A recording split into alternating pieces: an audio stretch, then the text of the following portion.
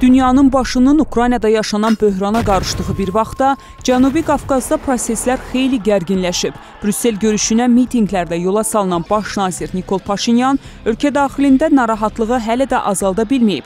Lakin maraqlısı budur ki, ermənilər azmış kimi indi də Qarabağdakı sülh məramlılar aranı qarışdırmağa başlayıb.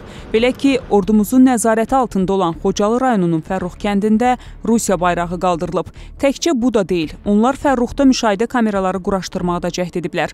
Aprelin 7-sində isə Ağdərə istiqamətindəki yolda mülki geyimli silahlı erməni Azərbaycan hərbi karvanının qarşısına çıxaraq havaya atəş açıb və bu hadisə nəinki rus sülh məramlarının gözü qarşısına baş verib, hətta onların razılıq gülüşü ilə müşayiət olunub.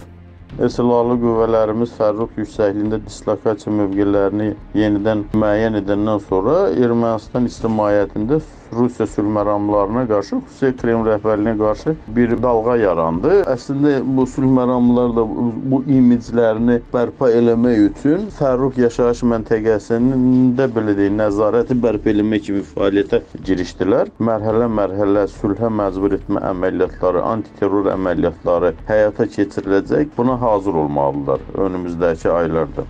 İki ilə yaxındır Qarabağda sülhməramlı kimi fəaliyyət göstərən rus hərbiçilərinin müəyyən zamanlarda ermənilərin yol verdiyi qanunsuzluqlara göz yummasının, hətta şərik belə olmasının şahidi olmuşuq. Bununla bağlı lazımi səviyyədə iradlarımızda bildirmişik. Lakin yenə eyni mənzərənin şahidi oluruq. Ekspertlər düşünür ki, bu artıq onsuz da işini lazımınca görə bilməyən sülhməramlıların həddini aşmasıdır. Brüssel görüşündən sonra Rusiya ə, münaqişənin monopoliyasının öz əlindən çıxmasına narahatdır və hətta Brüsseldə əldə edilən razılaşmanı bir növ sabotaj eləmək üçün ə, Qarabağda hansısa hərəkətlənmələrə dair situativ addımlar ata bilər. Rusiya istəyirsə ki, tutaq ki, Moskva razılaşmasının, ə, Soçi razılaşmasını daha real şəkildə, daha real mexanizmlərlə Azərbaycanla Ermənistan arasında sülh müqaviləsinə gətirib çıxarsın, o zaman ilk növbədə o növ razılaşmasının detallarının ciddi şəkildə yerinə yetirilməsini təmin etməlidir. Bu cür qanunsuzluqların arxasındakı əsas səbəb əlbəttə ki, cəzasızlıq mühiti ilə bağlıdır.